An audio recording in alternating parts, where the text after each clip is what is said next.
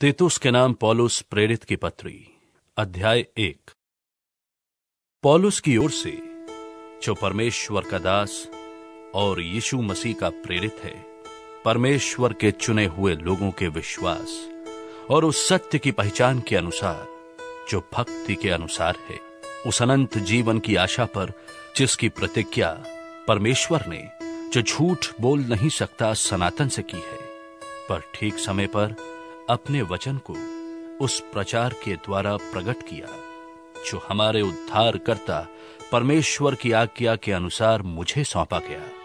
तीतुस के नाम जो विश्वास की सहभागिता के विचार से मेरा सच्चा पुत्र है, परमेश्वर पिता और हमारे उद्धार करता मसीही यीशु से अनुग्रह और शांति होती रहे। मैं इसलिए तुझे क्रेते में छोड़ आया था कि तू शेष रही हुई बातों को सुधारे और मेरी आज्ञा के अनुसार नगर नगर प्राचीनों को नियुक्त करे, जो निर्दोष और एक ही पत्नी के पति हों, जिनके लड़के वाले विश्वासी हों और जिन्हें लुचपन और निरंकुशता का दोष नहीं, क्योंकि अध्यक्ष को परमेश्वर का भंडारी होने के कारण निर्दोष होना चाहिए। न हठी, न क्रोधी, न पियक्कड़, न मारपीट करने वाला और न नीच कमाई का लोभी। वो पहुनाई करने वाला, भलाई का चाहने वाला, संयमी, न्यायी, पवित्र और जितेंद्रिय हो।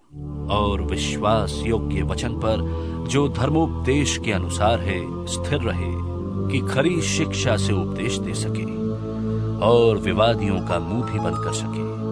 क्योंकि बहुत से लोग निरंकुश, बकवादी और धोखा देने वाले हैं। विशेष करके खतना वालों में से इनका मुँह बंद करना चाहिए। ये लोग नीच कमाई के लिए अनुचित बातें सिखाकर घर के घर बिगाड़ देते हैं। उन्हीं में से एक जन ने, जो उन्हीं का भविष्य वक्ता है, कहा है कि क्रेती लोग सदा झूठे, दुष्ट, पशु और आलसी पेटू होते हैं। ये गवाही सच है। इसलिए उन्हें कड़ाई से चेतावनी दिया कर कि ये विश्वास में पक्के हो जाएँ और वे यहूदियों की कथा, कहानियों और उन मनुष्यों की आज्ञाओं पर मन ना लगाएँ, जो सत्य से भटक जाते हैं। शुद्ध लोगों के लिए सब वस्तु शुद्ध है, पर अशुद्ध और अविश्वासियों के लिए कुछ भी शुद्ध नहीं। वरन उनकी बुद्धि और विवेक दोनों अशुद्ध है। वे कहते हैं कि हम परमेश्वर को जानते हैं, पर अपने कामों से उसका इनकार करते हैं, क्योंकि वे घृणित और आज्ञा ना मानने वाले हैं, और किसी अच्छे काम में के योग्य नहीं।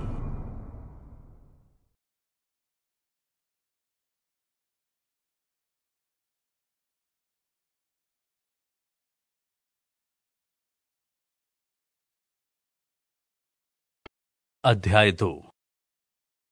पर तू ऐसी बातें कहा कर जो खरे उपदेश के योग्य हैं, अर्थात बूढ़े पुरुष सचेत और गंभीर और संयमी हो, और उनका विश्वास, प्रेम और धीरज पक्का इसी प्रकार बूढ़ी स्त्रियों का चाल चलन पवित्र लोगों सा हो। दोष लगाने वाली और पियक्कड़ नहीं, पर अच्छी बातें सिखाने वाली हों, ताकि वे जवान स्त्रियों को चुनौती देती रहें कि अपने पतियों और बच्चों से प्रीति रखें।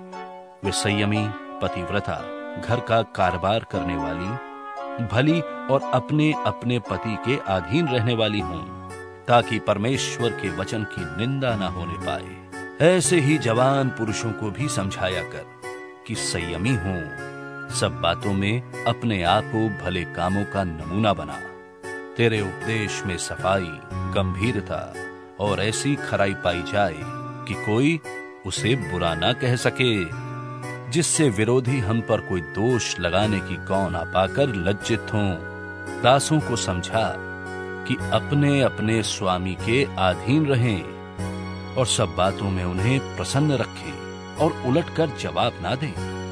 वे चोरी चालाकी ना करें, पर सब प्रकार से पूरे विश्ववासी निकले कि सब बातों में हमारे उद्धार करता परमेश्वर के उपदेश को शोभा दे। क्योंकि परमेश्वर का वो अनुग्रह प्रकट है जो सब मनुष्यों के उद्धार का कारण है और हमें चिताता है कि हम अभक्ति और सांसारिक अभिलाषाओं से मन फेर कर इस युग में संयम और धर्म और भक्ति से जीवन बिताएँ। हम उस धन्य आशा की, अर्थात अपने महान परमेश्वर और उद्धार करता यीशु मसीह की महिमा के प्रकट होने की बाट जोते रहे, जिसने अपने आप को हमारे लिए दे दिया, कि हमें हर प्रकार के अधर्म से छुड़ा ले और शुद्ध करके अपने लिए एक ऐसी जाति बना ले जो भले भले कामों में सरगर्म हो। पूरे अधिकार के साथ ये बातें कहे और समझा और सिखाता रहे। कोई तुझे तुच्छ ना जानने पाए।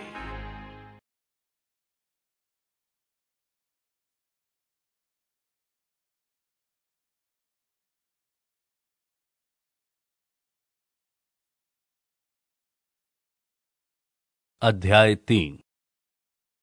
लोगों को सुधि दिला कि हाकिमों और अधिकारियों के अधीन रहें और उनकी आज्ञा माने और हर एक अच्छे काम के लिए तैयार रहें। वे किसी को बदनाम ना करें, झगड़ालू ना हों, पर कोमल स्वभाव के हों और सब मनुष्यों के साथ बड़ी नम्रता के साथ रहें, क्योंकि हम भी पहले निर्बुद्धि और आज्ञा ना मानने वाले और भ्रम में पड़े हुए और रंग रंग के अभिलाषाओं और सुख विलास के दासत्व में थे और बैर भाव और डाह करने में जीवन निर्वाह करते थे और घृणित थे और दूसरे से बैर रखते थे। पर जब हमारे उद्धार करता परमेश्वर की कृपा और मनुष्यों पर उसकी प्रीति प्रकट हुई तो उसने हमारा उद्धार किया।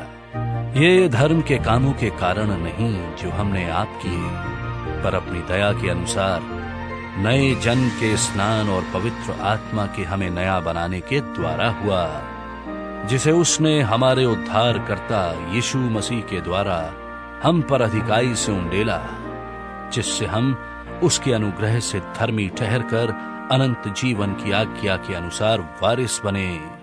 ये बात सच है, और मैं चाहता हूँ कि इन बातों के विषय में दृढ़ता से बोले। इसलिए कि जिन्होंने परमेश्वर की प्रतीति की है, वे भले भले कामों में लगे रहने का ध्यान रखें। ये बातें भली और मनुष्यों के लाभ की हैं।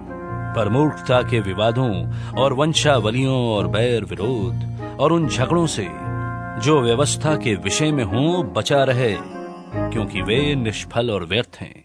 किसी पाखंडी को एक दो बार समझा बुझा कर उससे अलग रहे। ये जानकर कि ऐसा मनुष्य भटक गया है और अपने आप को दोषी ठहराकर पाप करता रहता है।